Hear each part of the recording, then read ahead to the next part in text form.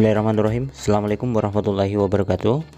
Uh, Teman-teman Kebetulan hari ini saya lagi kedatangan tamu dari Poso Yang mana tamu ini adalah ponakan saya sendiri.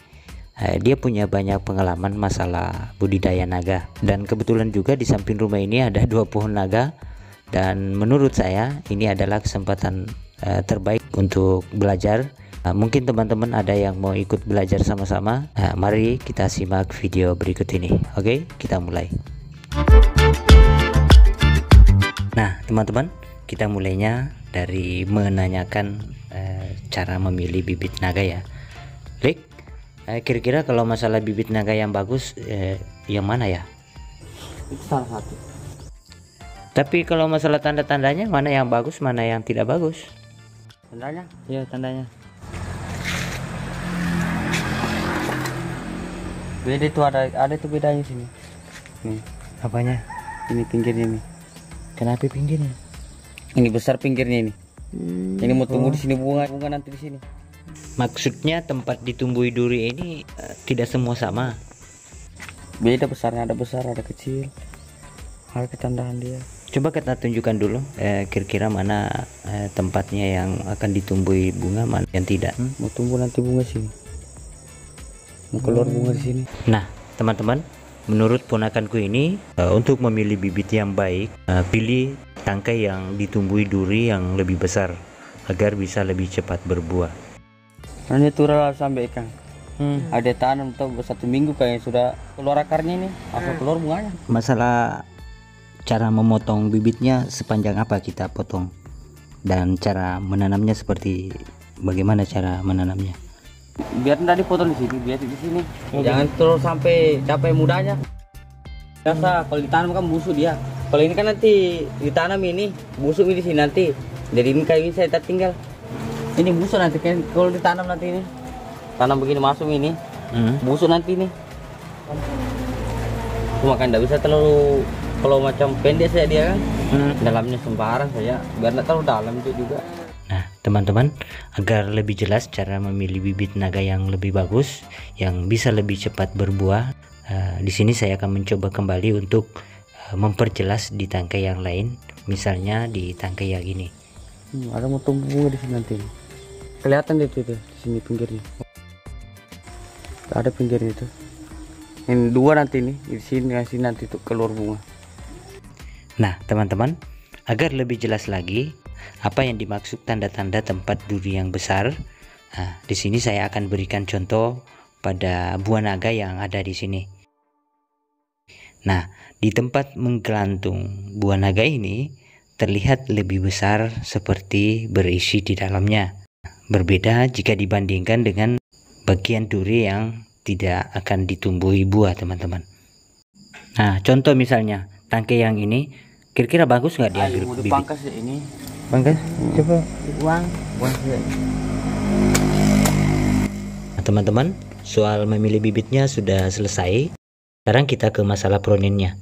Jadi kalau masalah proninnya bagaimana ini? Berapa batang yang bisa dibiarkan tumbuh? Berarti sudah ada naik. Enam buah bunga ini. Ini sampai kapan enam buah bunga? Lorong saja, lorong panjang-panjang. Yang panjang begini saya. Namun kan enggak buah. Nah, teman-teman, untuk pronin naga yang baik, satu batang sudah cukup. Potong cabang air, kemudian jangan biarkan tangkai yang tidak produktif lebih memanjang. Saja lorong panjang-panjang. Oh, Panjang-panjang begini saya. tidak mau kena buah. Namun kan enggak buah. Apa tahukan? Jadi kalau iya yang penting hidup tunggu tunas anunya saja buahnya. Ah, mama itu lalu datang. Eh, di- dipangkas. Macam mana mau dibuka nah se eh, enggak tahu juga. Kalau Mali dia tahu tahu ya nanti lain kali datangnya Mali semua. Oh itu nanti Kita tanya. berarti saya anu kerja di kota raya. Eh, Nanti saya pangkas. Baru sapupu, habis saya pangkas sapupu, woi, tunggu tunasnya. Hmm. Langsung banyak dia punya anu buah. buah. Nah, berapa kilo, berapa kilo kemarin semua dia dapat? Berapa banyak dia dapat kemarin? Nah, teman-teman, cara proninnya sudah jelas. Nah, selanjutnya kita akan mengetahui kapan musim buahnya dan eh, pupuk apa yang semestinya cocok untuk tanaman naga ini. Hmm, cepat sekali panas ini baru begini. Panas ya, enak sekali bunganya keluar itu. Oh, cuacanya panas, bagus Panas. buahnya. hmm. Nah kalau kalau di sana dapat musim panas. Hmm. Habis tuh bisa pupuk. Hmm. So, keluar bunganya. Apa apa biasa pupuk kau pakai? Poska. Pakai kan poska dengan ada cik. Cuma poska? Hmm, poska saya banyak. Nah, teman-teman, pupuk perangsang buah yang cocok untuk buah naga adalah NPK Ponska. Berikan pada menjelang kemarau, buahnya akan lebat. Nah, sekarang pupuk untuk pembesar buahnya dan buah yang sudah sebesar ini apakah masih bisa diberi pupuk pembesar buah? Nah itu bagus sekali tuh di kibro itu. Ada banyak. Maksudnya, Kibro, Oh, ada uang obat itu? di Hmm, sebesar. Nah, teman-teman, ternyata eh, buah naga ini ada obat untuk pembesar buahnya ya teman-teman. Kibro adalah obat pembesar buah naga. Tapi apakah obat kibro ini adalah semacam cair atau semacam bubuk? Obat pil dia. Di dalam ini. Hmm? Dalam sekali ini.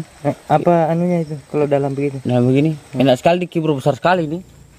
Saya punya setane tas satu kilo lebih itu. Satu kilo. Satu biji satu kilo? Satu biji. Oh mah, besarnya? Satu kilo.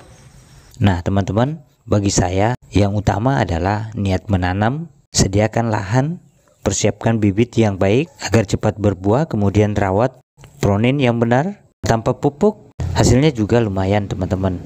Contoh dasar pada buah naga ini, tujuh hari setelah diperunin hasilnya sebesar ini teman-teman, tanpa menggunakan obat, apalagi kalau menggunakan obat. Hasilnya bisa lebih banyak dan besar.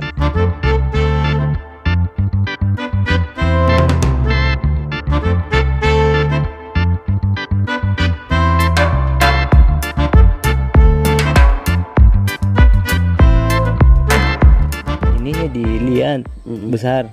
Besar timbul besar itu. Coba saya lihat tempat menggantung buah yang ini. Iya, betul teman-teman.